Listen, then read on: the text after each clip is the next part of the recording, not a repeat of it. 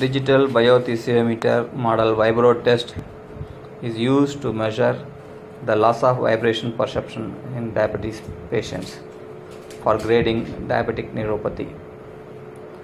This machine gives an vibration output and the units are between 0 volt and 50 volts.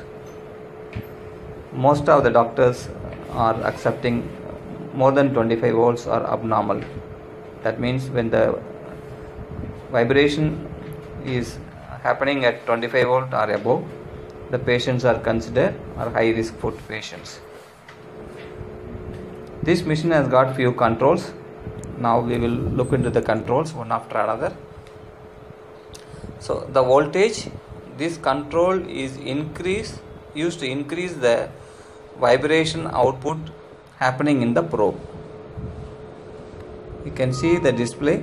This display will display you the output voltage in numbers. It is varying from 0 to 50 here. So you have a check key here. It is a push button switch. This is used. I'll explain to you later. You have a connector for connecting the vibration probe and the vibration probe is like this okay you can see the black button here so this is actually vibrating. So this tip has to be gently touched in all these test location. That is bottom of the sole great toe first metatarsal head third metatarsal head fifth metatarsal head instep and heel. So this has to be tested on both foot so this has to be connected to this point. So through this connector. And then it has to be tightened. And you also have on off switch. So when switched on then the light number will be displayed here. Then the machine is ready for function. Now we will see you the back side some of the controls used. So this is the main socket for connecting the mains cable. So this is the mains cable. So the mains cable has to be connected here and then pressed firmly. Now it is completely connected. You have a fuse holder. The red knob is fuse holder. So you can to remove it you have to unscrew it then it can uh, get it. So you can unscrew it. Okay. see you can see there is a glass fuse. Please refer the user manual for the values. When there is a lot of fluctuation or when there is some malfunction in the machine so this fuse will blow there is a small thin wire in between the fuse so that will get open.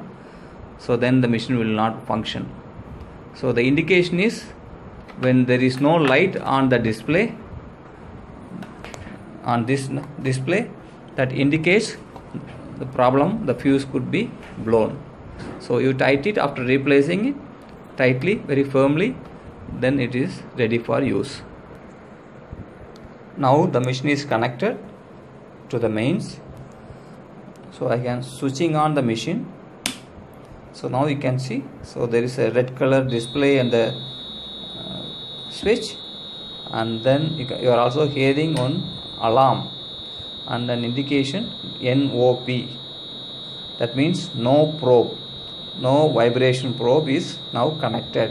See because this is empty it is giving an alarm. So switch it off. And then connect this.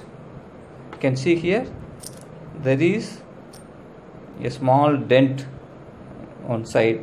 Everywhere it is circle at one point there is a dent. And here also you can see there is a small mark here. So it has to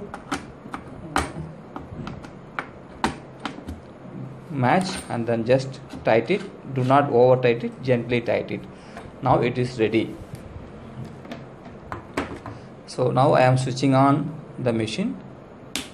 So you get DFC that indicates diabetic foot care and then you get number 00 so that so when it is 00 there will not be any vibration happen at the probe.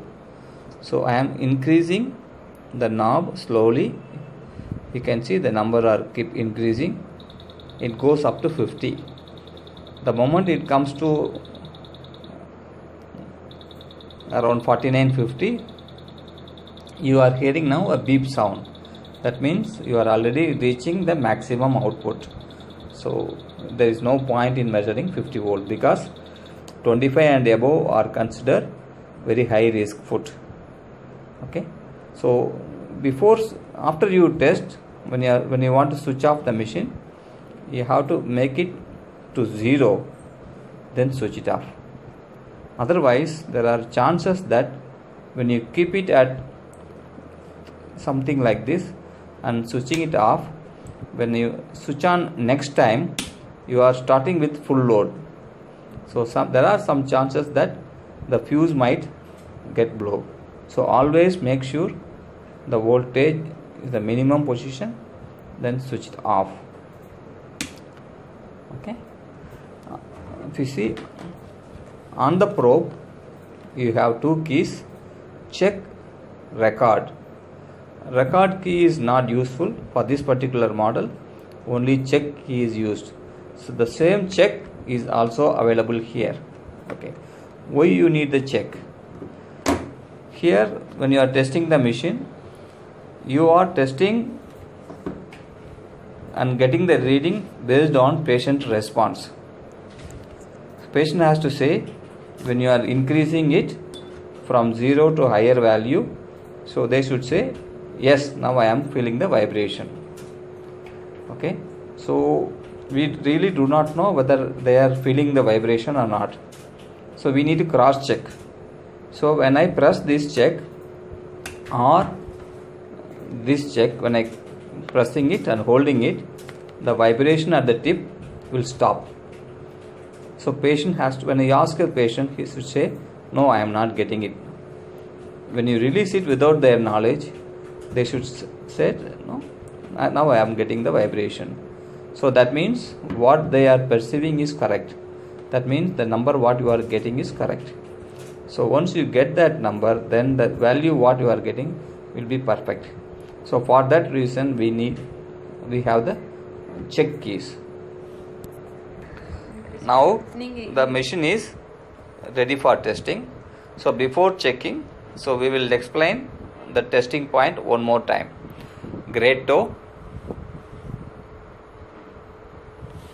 Touch it gently. Without do not press it hard just gent, gently touch it. Then the first metatarsal head. Then third metatarsal head. Then fifth metatarsal then instep then heel finally heel. So you have to do it. Before starting the test we have to educate the patient about the test and then we should continue it so that the output what we will get will be error free now i am we are putting it on the palm and then increasing it little stronger and then make the patient aware about the vibration. Are you getting vibration? Yes. what kind of vibration? Grrr. Are you getting Grr. okay. So we have to explain and then we'll, we'll have to tell him that we will be testing in the foot and he should experience the same thing. Now i'll do it in your foot. You should tell me when you are getting the vibration loudly. Okay? Okay. now i am going to test in the foot i'm making it zero now i will test in the great toe i'm slowly increasing it patient has to say when he is feeling the vibration Yes. now are you getting it Yes. now Yes. now No. Are you getting yes. it? Yes. now, now are you getting it? No. now I have checked the press button so he says no. I releasing it. Now I'll ask it again. Are you getting the vibration? Yes. so that means what he has perceived is correct. Now the number the voltage output what uh, at, at what point he is getting is 10 numbers. So with this which is uh, less than 25 volt. So he uh, his foot is considered normal.